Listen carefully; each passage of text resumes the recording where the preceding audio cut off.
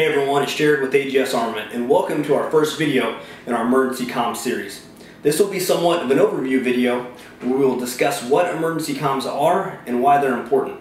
We will briefly cover varying types of methods and the tools you can utilize in these types of situations to communicate. In later videos, we will begin to discuss each piece of gear more in depth and take them out to both urban and wilderness environments to show you their real world capabilities. We hope this will help you strengthen your ability to communicate during an emergency or disaster situation. So let's get started. One of the most important yet often overlooked facets of personal preparedness is that of emergency comms. Both FEMA and the FCC advise people that in the event of an emergency, that telephone and even cell phone communications may not be available. And if they are, they're often congested or overloaded to the point that your ability to reach emergency responders or family members may not be possible. Emergency comms means having the tools and a plan in place that will ensure you can connect with those you need to when conventional methods are not available. Having this will ensure you can contact others or request the help you need from the appropriate sources. Who we need to make contact with or listen to. Most of us want to check on our loved ones, family, friends, and our neighbors. Being able to gather information from local emergency services such as police, fire, and first responders will be necessary.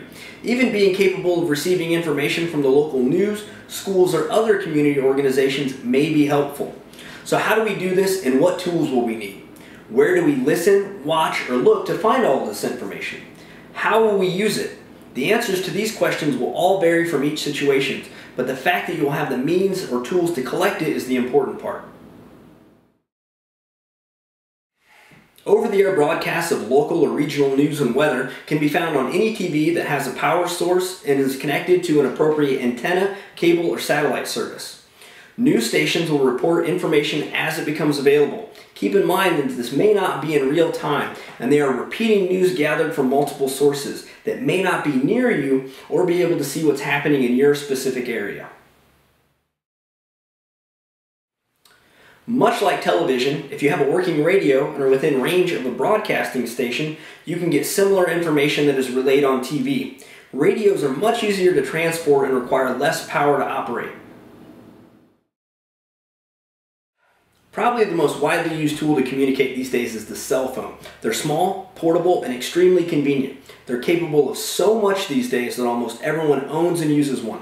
We can use them to place a phone call to someone in the next room or thousands of miles away. Regardless of the platform, apps allow us to do things like check the weather, communicate with others using group text or push-to-talk comms, and there's even apps that can aid you in navigation and almost any function that you can imagine. So the smartphone, although it's an extremely useful tool, it does have some serious drawbacks. First, they almost always require a cell phone service provider or an active internet connection to operate. If those aren't available, there's really not much you can use it to do to reach the outside world. Also, their battery life is poor compared to some of the other tools that we can utilize, and they're extremely fragile. With that said though, it's an absolute must to have a cell phone. And if you can have a backup, I highly recommend that in addition to a smartphone, you get an old style flip phone as well. A prepaid one can be picked up for as little as $20. The good old landline is still around. Even as cell dominates the landscape, old copper lines are still a viable form of communication. Although not everyone these days has one, if folks are overloading the cell towers, you may have a bit more luck reaching someone via this method. Simple corded phones are cheap and work even in power outages. These, however, rely on infrastructure that during an emergency situation may falter or become unusable. I think this is what most everyone came here to hear about, at least based on the comments that I read. Two-way radios. You may know them simply as walkie-talkies, others more involved may refer to them as an amateur or ham radio. What they are regardless of the name used is a transceiver that is capable of transmitting and receiving on a specific or group of frequencies depending on the class of the radio. I'll go over the most common types for now and in videos down the road we'll cover each type more in depth. For now, just know that many public service, local government organizations, schools, and news stations use these to relay information. This information is passed on in real time and can offer very localized reports. Many groups are highly organized just for these types of situations. One of the biggest advantages is that two-way radios rely on the transceivers only and can operate without a network or sophisticated infrastructure. Today we'll cover some of the most common services or bands of frequencies that are used. The family radio service consists of 14 channels in the UHF band. Radios are limited to 500 milliwatts of output power and must use a fixed antenna that's attached to the radio. No license is required as it was designed for close range personal or business use. Typical range of these radios is approximately a quarter to one mile in normal use. Manufacturers often exaggerate the range of these radios.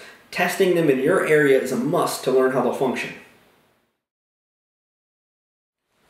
General Mobile Radio Service, or GMRS, consists of 23 channels in the UHF band. Radios are limited to 50 watts of output power, although most models are typically within 1 to 5 watts output. External antennas are allowed but do have a 20 foot restriction above ground. Due to the range and more power allowed, a license is required to use this for personal or business uses. Repeaters are permitted on certain channels. Typical range, depending on the output power, antenna, and repeater access, can be in the range of 5 to 25 miles of normal use. MURS, or the Multi-Use Radio Service, consists of five channels in the VHF band. Radios are limited to 2 watts of output power. External antennas are allowed but are restricted to 60 feet above the ground or 20 feet above a fixed structure. No license is required for local business or personal use. Ranges of 3 to 10 miles is typical in normal use depending on the antenna and radio used.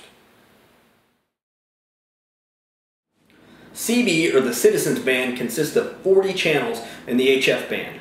Radios are limited to 4 watts of output power. External antennas are allowed with a max height of 60 feet off the ground or 20 feet above a fixed structure.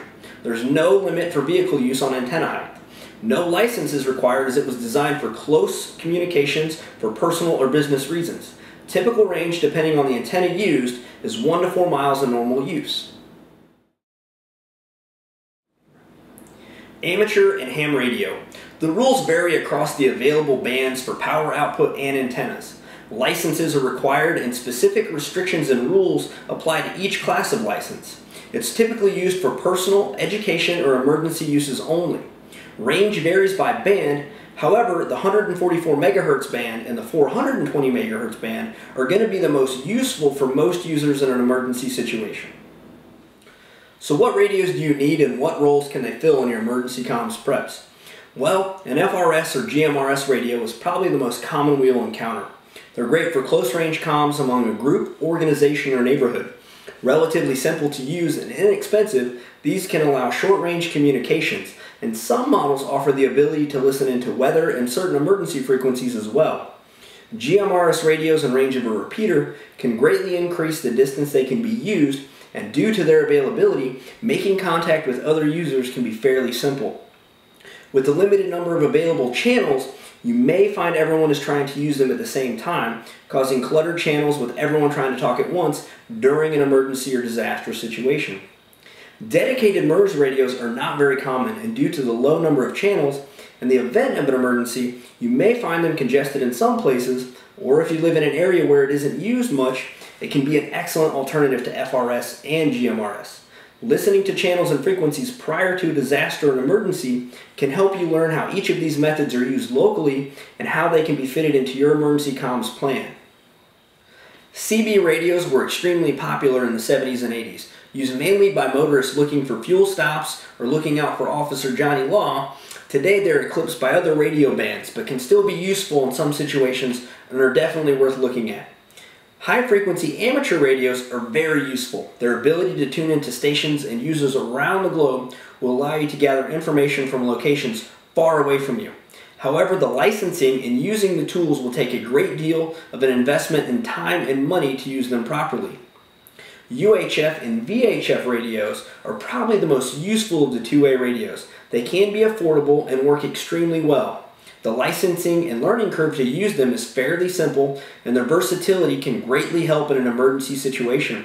Most emergency services operate very close to these bands as well, so listening in will be possible. Repeaters will increase the range, allowing you to reach other operators around your area that will be able to provide you real-time information, conditions, and other things that may affect you. I will add, do not operate a radio on a frequency that is prohibited or a license is required without having one. such as the amateur radio bands, emergency or public service frequencies. The FCC enforces these rules very much and hands out very stiff fines for offenders. Please research the radios and what you're allowed to do with them before use. I hope everyone enjoyed this video and it was informative. In other videos in this series, we're going to begin to take out some of the radios you see here and some others that we're going to borrow from friends to test their capabilities in both wilderness and urban environments. So hopefully you get an idea of how well they work and whether or not they'll fit into your emergency comms plan. Hopefully in the next week or so, I'll make my way up to DDI to pick up an AK that they're going to allow me to do a full review on. You can expect me to shoot the piss out of it, maybe some torture testing. We're definitely going to drop it a few times. So Thank you guys for watching. Check us out at agsarmament.com. You can visit us on Facebook, Instagram, and Twitter. I'll put those links in the description of the video. Thank you guys for watching, and we'll see you next week.